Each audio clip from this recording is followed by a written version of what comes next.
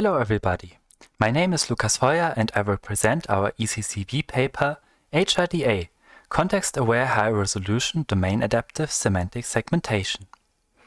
Semantic segmentation is the task of classifying each pixel of an image.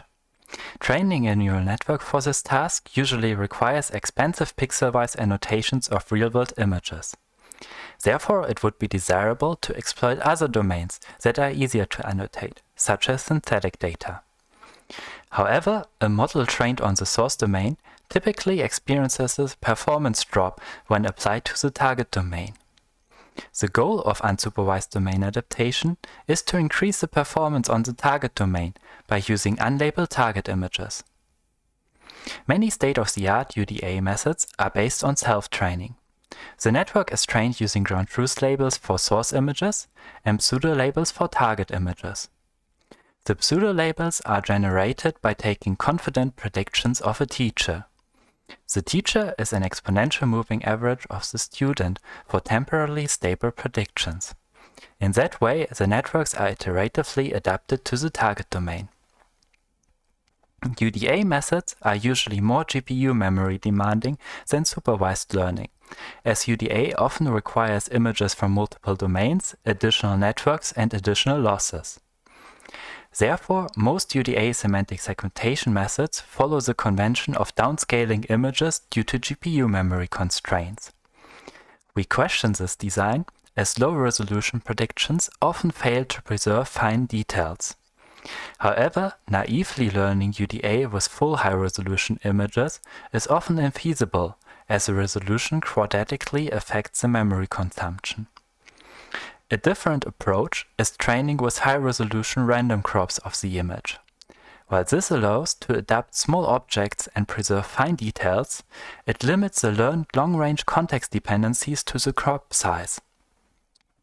This is a crucial disadvantage for UDA, as context information and scene layout are often domain robust.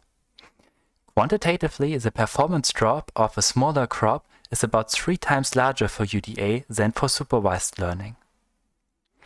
To effectively combine the strengths of these two approaches, we propose HRDA, a novel multi-resolution framework for UDA semantic segmentation. First, HRDA uses a large low-resolution context crop to learn long-range context dependencies. Second, HRDA uses a small high-resolution detail crop from the region within the context crop to adapt small objects and to preserve segmentation details. As the importance of the context versus the detail crops depends on the content of the image, HRDA fuses both using an input-dependent scale attention. During UDA, the attention learns to decide how trustworthy the context and the detail predictions are in every image region. In that way, HRDA preserves the main advantages of a large crop size and a high resolution training, while maintaining a much lower GPU memory consumption than full image high resolution training.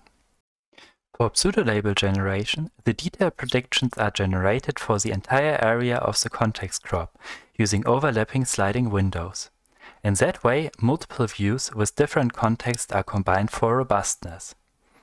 The reassembled detail prediction is fused with the low-resolution context prediction, using the scale attention. In that way, the better suited resolution is used for object scale-dependent adaptation. HRDA can be applied to various UDA methods and network architectures, and consistently improves the performance by a significant margin. Especially self-training methods benefit from the high-quality multi-resolution pseudo-labels, which reinforce the adaptation process. When combined with DAFormer, HRDA improves the state-of-the-art performance by a significant margin of 5.5 mean IOU. HRDA particularly enhances the performance of small objects, such as pole, traffic sign, and person, as well as semantically similar classes, such as truck, bus, and train. This is also reflected in the example predictions, showing that HRDA can better recognize small objects and distinguish difficult classes. Thank you for watching this video.